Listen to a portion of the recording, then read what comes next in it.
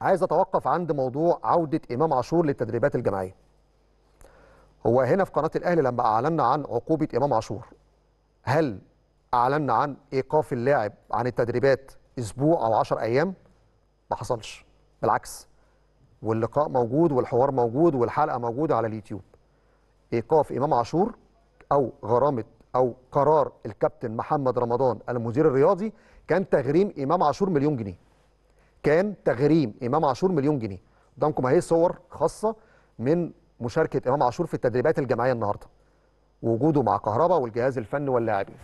طيب بتحاسبونا على فكرة أصل إمام كان موقوف أسبوع. لا ده مش مكتوب رسمي ولا معلن أصلا في النادي الأهلي. النادي الأهلي قال إن إمام عاشور غرامة مليون جنيه.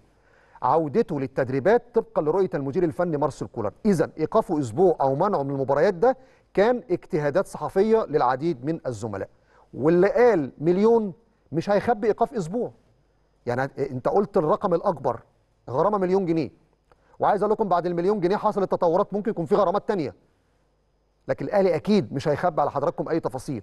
لكن أقول المليون وأخبي إيقاف أسبوع مش لوجيك يعني مش طبيعي. ولكن موقف حصل من اللاعب اعتذر عنه لزملائه وللجهاز الفني ولكابتن الفريق وكتب على حسابه الرسمي ومارسيل كولر واللاعبين وكابتن الفريق محمد الشناوي تقبل الاعتذار والنهارده اللاعب شارك في التدريبات الجماعيه يبقى بالتالي مفيش فكرة استبعاده ولا منعه من المباريات طبقا للحالة الفنية في ماتش البنك الأهلي ما كانش موجود. يصطحب كولر لمباراة أورلاندو ده يتحدث في الساعات اللي جاية وإن كان كولر بيفكر إن يكون إمام عاشور معاهم في رحلة أورلاندو بايرتس. ولكن فكرة إن اللاعب كان موقوف وتم إلغاء القرار الكلام ده مش في النادي الأهلي. حاسبونا على اللي بيتقال هنا أو من خلال صفحة النادي الرسمية على الفيسبوك. ولكن اجتهادات بعض الزملاء بتبقى اجتهادات ولكن ليست معلومات مؤكدة أو رسمية.